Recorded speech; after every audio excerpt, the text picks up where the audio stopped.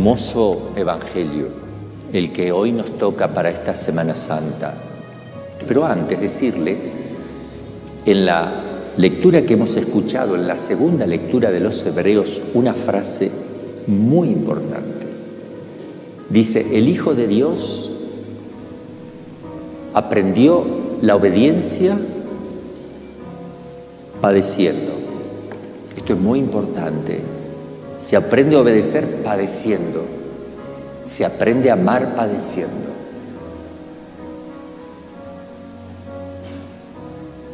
Cuando uno padece, sufre algo y ama, porque eso lo ama como un instrumento de purificación y para reparar los pecados y glorificar a Dios, aprende a amar, aprende a obedecer. En, el Evangelio Jesús dice, ahora tengo miedo, estoy turbado. Y ahora que estoy turbado y tengo miedo, le voy a decir a mi Padre, Padre, líbrame de esta hora. No, para esto he venido. Qué hermoso. Cristo viene en esta cuaresma que a destruir las obras de Satanás, quiere que destruir tu pecado. Jesús se turbó. Jesús internamente se turba le da miedo, pavor, angustia. ¿Por qué le da miedo, pavor, angustia? Porque es hombre. Claro, un hombre perfectísimo, pero su ser personal, su yo es divino. Su persona es divina, pero tiene una naturaleza humana de que es la que sufre todo esto.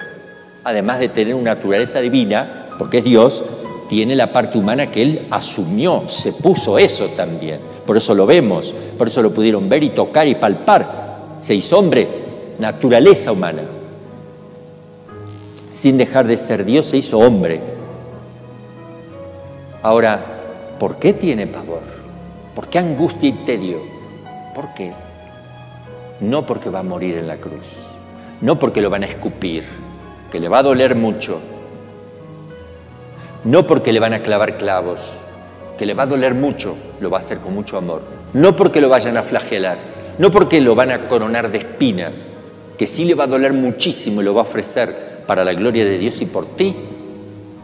No porque vaya a quedar colgado tres horas luchando entre la vida y la muerte. No por eso. No por el desprecio, los escupidas, todo lo que se pueda animar. Hay algo más profundamente tremendo consecuencia del pecado, ¿qué es lo que va a pasar aquí con Jesús? Por eso Él tiene pavor, porque el pecado es tremendamente destructivo, es la peste más grande, el pecado te destruye, el pecado no lo puedes sacar más de ti eternamente si mueres con Él, no lo puedes sacar de tu ser, se te hizo ser propio. Tú te haces pecado porque entras en comunión con Él, común unión, te desposas, te casas con el pecado. Te haces uno, como el alma y el cuerpo, más unido todavía, que es imposible sacártelo si te mueres así. Por eso no puedes ir al cielo. Entonces, ¿por qué tanto terror, tremendo, angustia de Cristo? En el huerto que sudó sangre, reventaron sus vasos capilares, los vasos sanguíneos, reventaron de la tensión que vivió. ¿Qué pasó? es que nosotros no tenemos una idea de lo que es el pecado. Él vino a asumir, Él lo puso no como una mochila detrás, porque yo en una mochila puedo poner de todo, puedo poner piedra, arena, lo que yo quiera, y lo voy llevando tranquilo. Me pesa un poco, pero no, no importa, lo llevo. No lo hago parte mía porque lo tenga sobre las espaldas. No lo asumo, no asumo las piedras y la arena que voy llevando Solo las voy cargando como una carretilla. Eso no hizo Jesús con nuestros pecados. No hubiera tenido sentido apoyarlo contra sus espaldas, porque Él muere y entonces yo no morí en Él. Él no murió por mí, murió, lo mataron nada más y tenía en su espalda mis pecados. No, Él asume, asumir, Él lo hace propio, lo hace propio el pecado que tú esta mañana o, antes de venir estuviste cometiendo.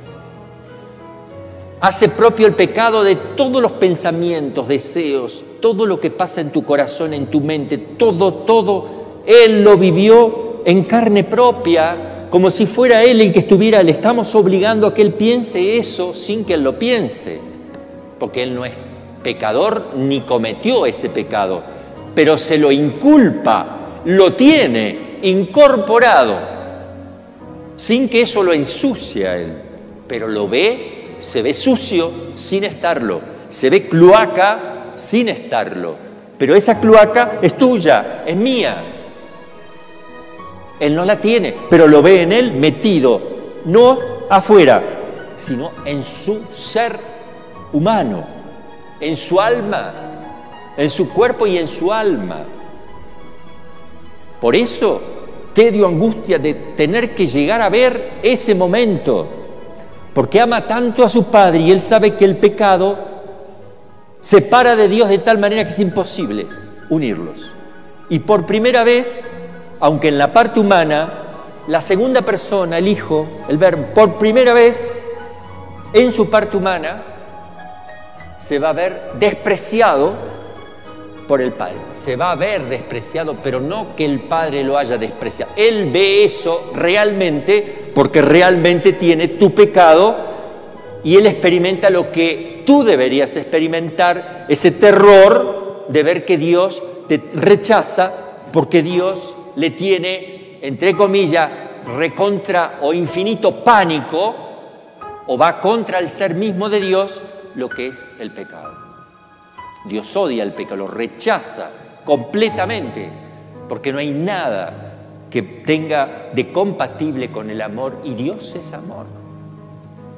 Esto que él vivió en el huerto también lo vivió en la cruz. Esto es lo más tremendo. Verse separado de su Padre verse culpable delante, pero no porque Él tenga, Él porque se hizo tú, se hizo tú.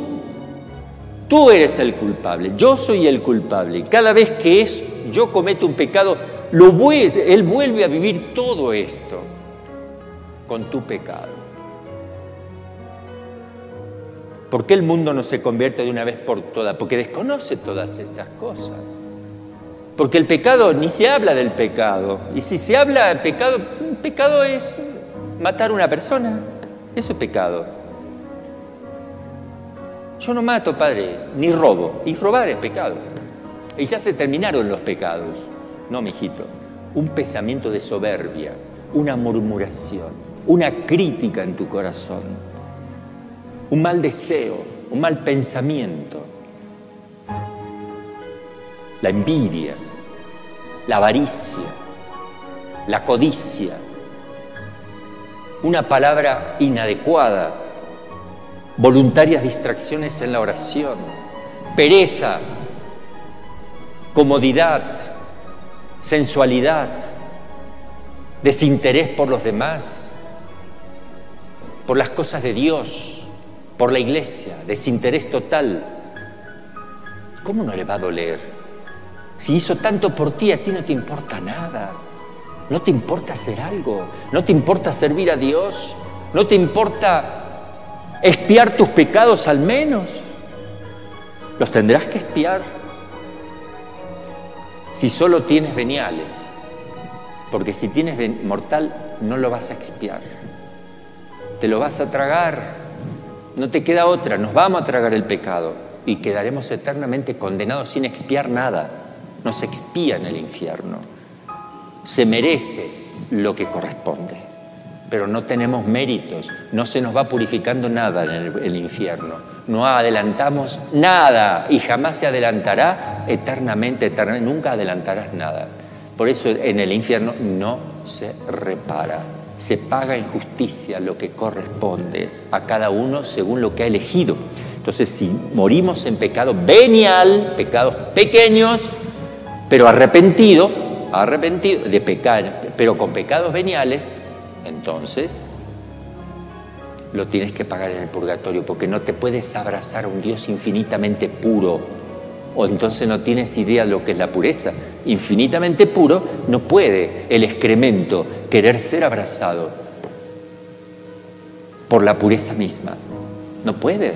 hasta tú mismo vas a decir, no, ¿Cómo me voy a presentar que no quiero ni que me vea? Primero me purifico, aunque me duela y lo tengo que hacer. En el purgatorio nadie reniega de lo que está sufriendo, aunque sufre terriblemente, pero no se reniega porque ya están en el amor. Ellos también quieren ser purificados antes de unir, porque saben que es absolutamente evidente que yo no puedo abrazar lleno de estiércol al Papa acá en la tierra, no puedo o ir a comer con el Papa, eh, con todos los obispos, los cardenales, y yo me vi ahí lleno de... No puedo.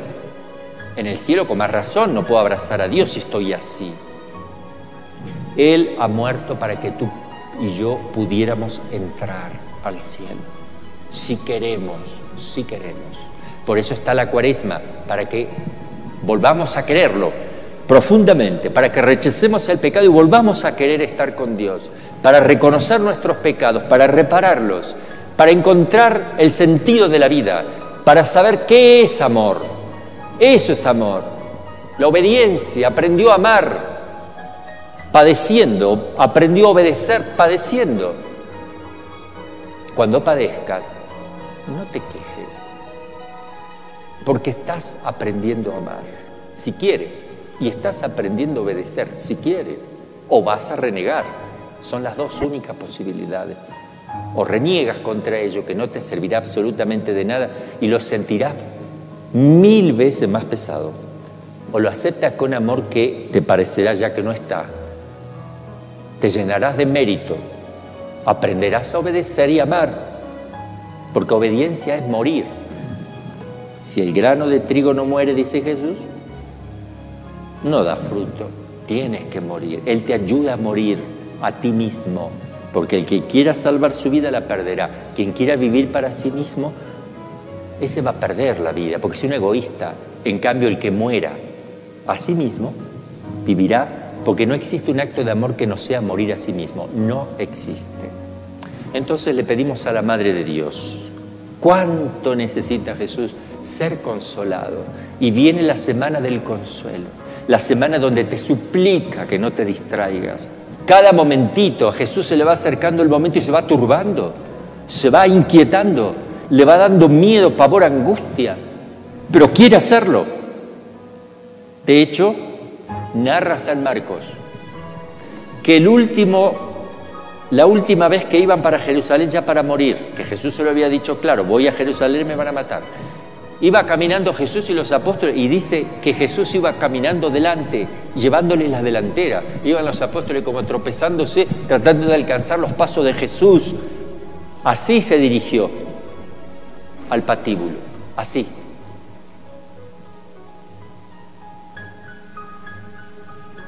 Con ansias he deseado comer con ustedes esta Pascua. Con profundo deseo he querido comer con ustedes esta Pascua. ¿Qué es comer la Pascua? Comenzar la muerte y la pasión de Cristo.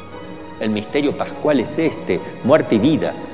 Pascua significa paso, paso de la muerte a la vida. Ese es el misterio pascual reemplazado, reemplazando el paso del Mar Rojo, la Pascua, el paso del ángel exterminador en Egipto y el paso por el Mar Rojo. Pascua se pasó de un lado al otro.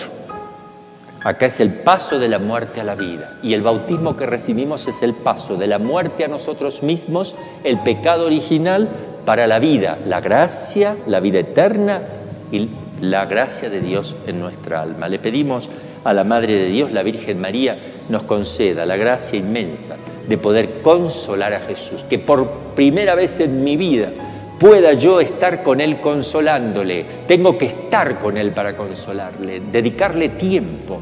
Pero si, ya no puedo, porque ya le he dedicado el resto del tiempo que debo hacer cosas, que sea por Él, que sea para Él, que sea en Él. Todo el tiempo mirando hacia adentro, cada instante, Señor te amo, Señor te adoro, creo, adoro, espero y te amo. Señor, ten piedad de mí que soy un pecador. Señor, haz en mí tu voluntad. Creo, Señor, aumenta mi fe, etc.